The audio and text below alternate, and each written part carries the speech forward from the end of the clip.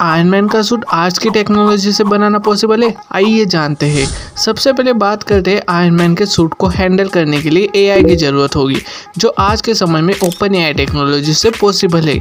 बात करते हैं सूट को उड़ाने की। वेल सूट को उड़ाने के लिए हम यहाँ पर यूज़ करेंगे एयरक्राफ्ट इंजिन की।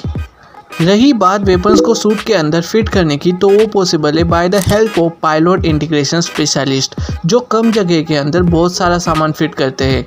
अब हमने सूट तो बना लिया, लेकिन सूट को चलाने के लिए हमें एनर्जी की ज़रूरत पड़ेगी, जो हम कर सकते हैं आर्क रिएक्टर से, जो मुमकिन है परपेंचुअल मोशन मशीन से।